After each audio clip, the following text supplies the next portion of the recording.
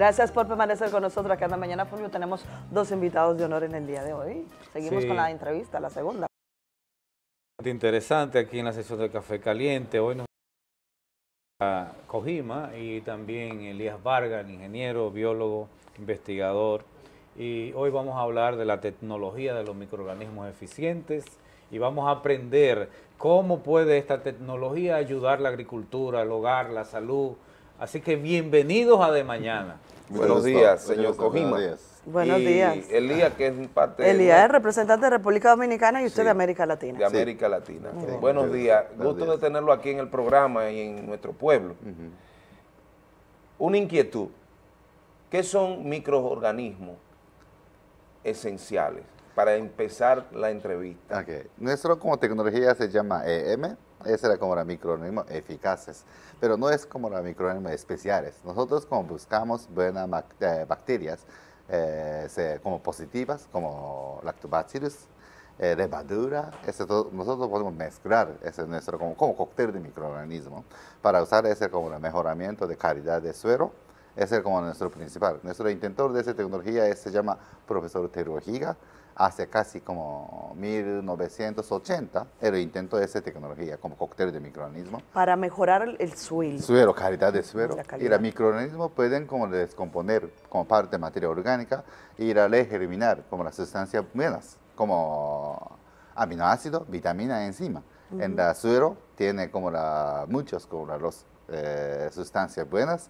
Las plantas, nosotros como la eh, ponen esas plantas por ahí, ellos pueden germinar esas como sustancias buenas. Entonces más salud y la- más como la, ¿cómo se dice? Más como la eh, cantidad de eh, productos. Más podemos- producción. Sí, más producción, sí. Bien.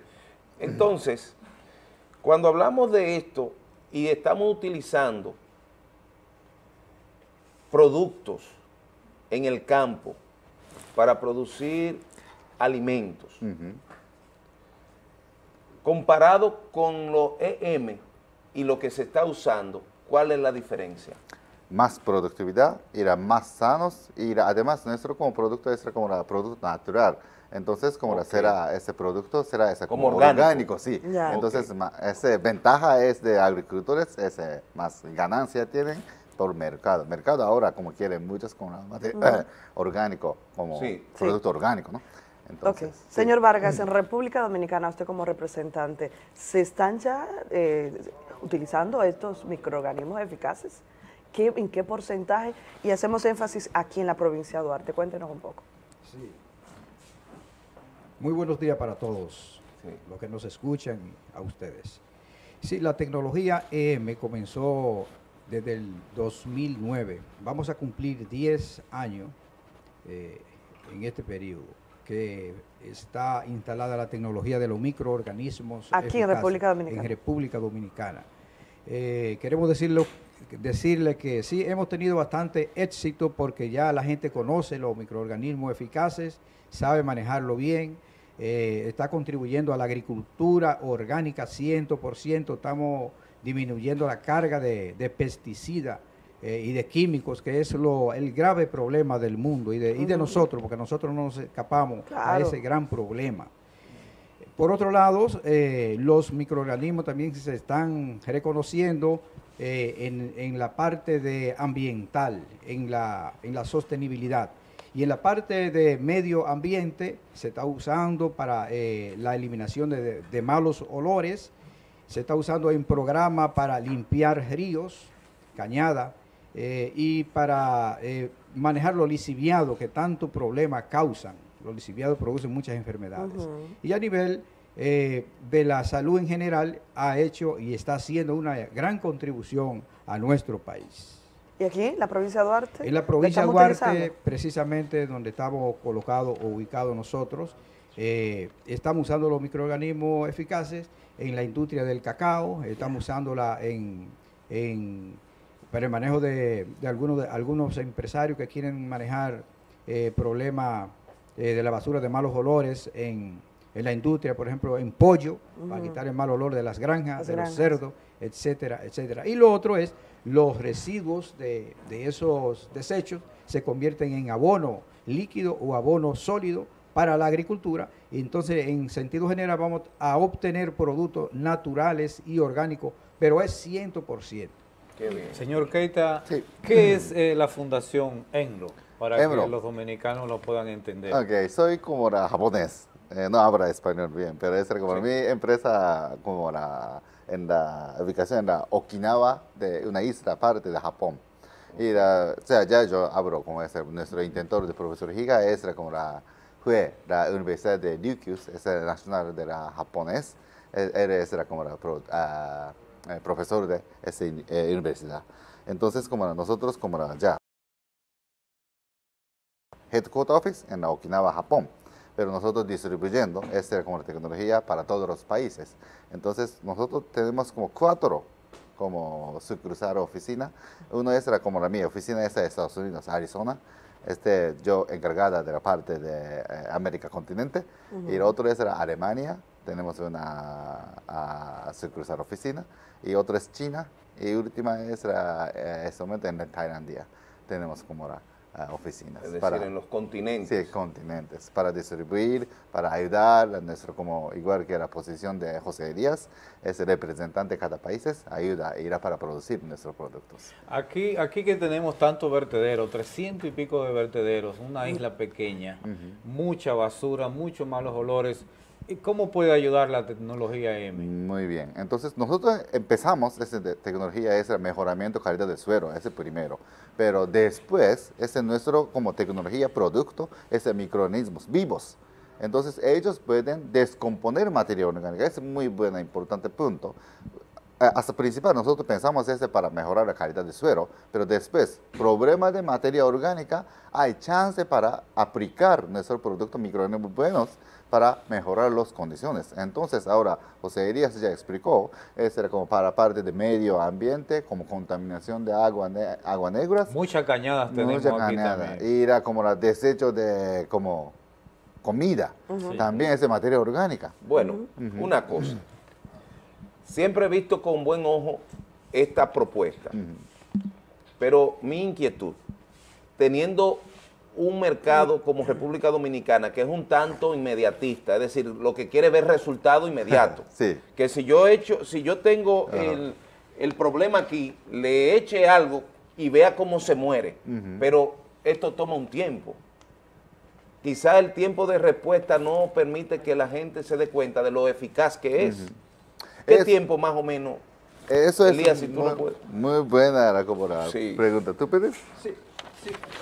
Fíjate, muy interesante la pregunta.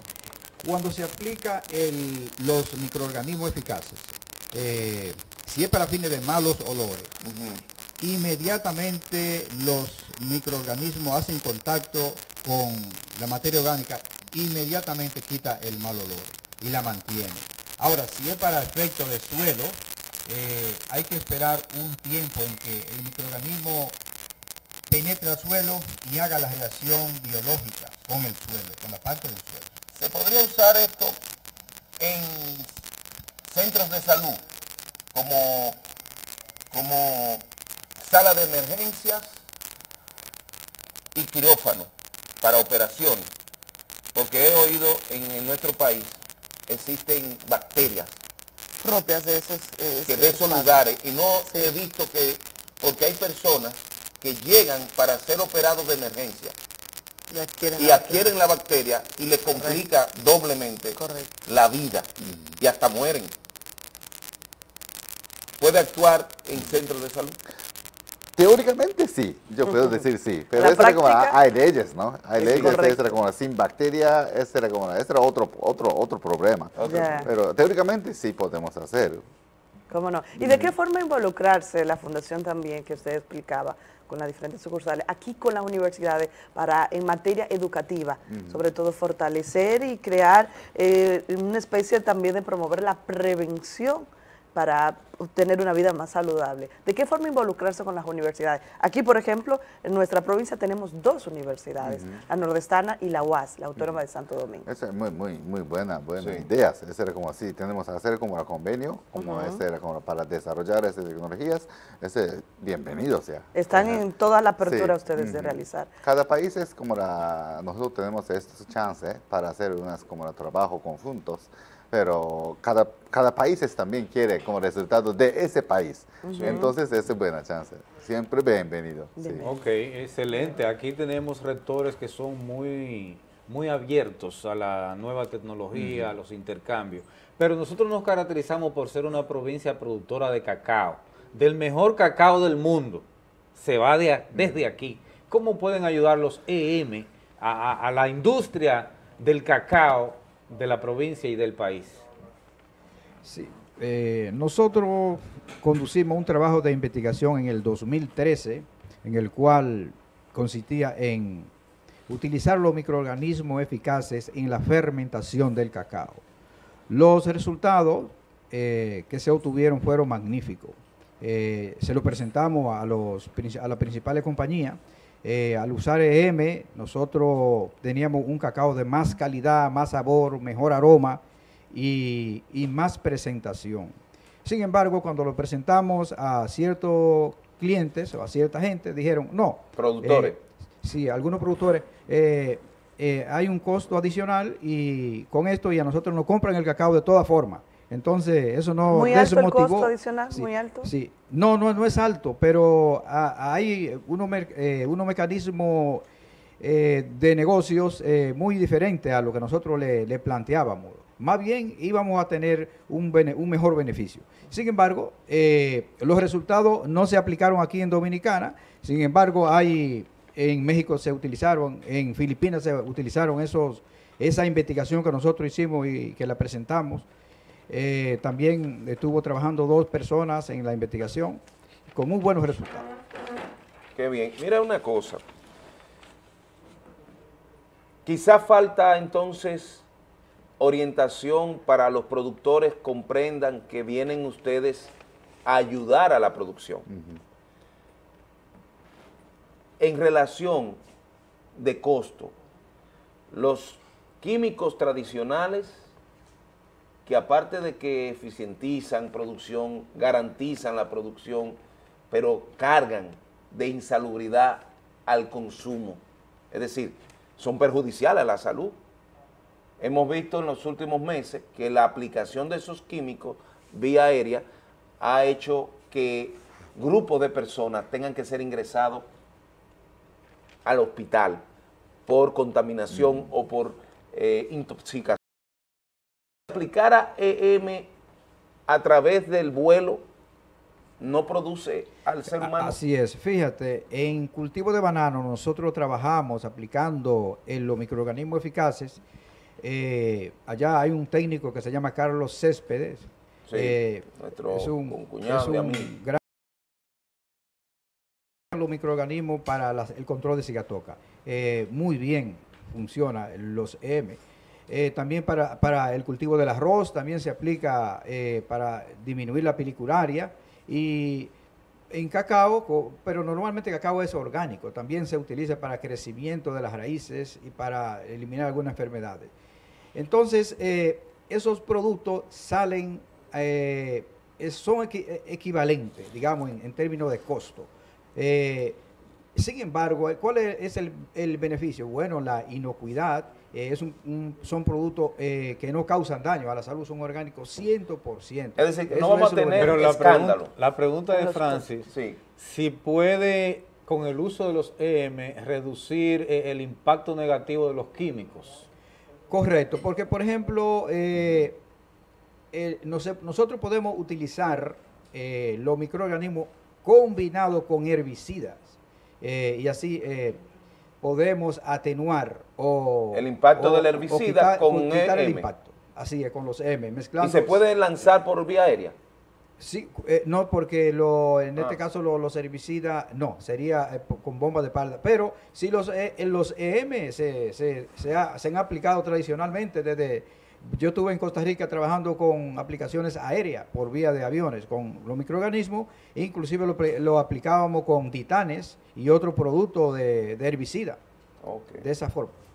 Aquí en el país, ¿cuántas oficinas tienen? ¿Dónde están? ¿Están en la mayoría de las provincias o solo en Santo Domingo y San Francisco? Eh, el organigrama es lo siguiente, cada provincia tiene algunos eh, representantes que trabajan eh, en, por ejemplo, en, Puerto Plata, eh, en medio ambiente, en manejo de hostelería, se trabaja, eh, en la parte de Santiago se trabaja el cultivo de- del plátano, del cultivo del arroz y, y básicamente banano.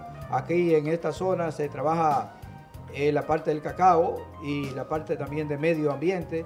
Y así en diferentes partes del país hay técnicos ya que están, que conocen la tecnología y están trabajando en, en esta área. Muy Doctor bien. Keita, necesitamos cuando usted vuelva pueda dar algunas conferencias en las universidades de Ah, aquí. muy bien, gracias. Sí. Ahí. Yo, yo quiero decir una cosa, Ah, sí, sí. cuando mejora la calidad del suero, cuando sustancias buenas están llenos de sueros, los como plantas pueden absorber esas cosas. Y los plantas también, nosotros también, tenemos como sistema inmunológico natural, originales, y será como plantas, sistema inmunológico funciona bien, no necesita, ¿por qué? No toca como enfermo. Eso es la como nuestra teórica de, la, de nuestra tecnología. Esa era como la muy tecnología natural y el arroz Excelente. globo ya tiene ese sistema ya. Excelente. ¿Cómo Y otro punto es, ahora yo estoy buscando de la buena calidad de cacao para mercado de Japón. Ah, bien. Entonces ustedes tienen como hacer como con orgánico, con EM, buena calidad, buen sabor, buen, buen como calidad tiene. Voy a intentarlo para vender ese para Japón. Ah. Excelente, Sí. excelente. Ese Pues, para mí es importante. Esa es la razón de viene de acá. ¿Cómo no? Sí. Qué Excelente. bueno, ojalá que sí, que el Japón pueda consumir nuestro cacao Ay, en sí, mayores cantidades, sí. ya que lo hace gran parte del mundo. Claro. Cómo no, muchísimas gracias a Keita Kojima, representante para toda Latinoamérica, y también el señor José Elías Vargas, representante de la tecnología EM para República Dominicana, por haber estado con nosotros en la segunda entrevista. Nos vamos a la pausa, retornamos con más aquí en De Mañana. No le cambies.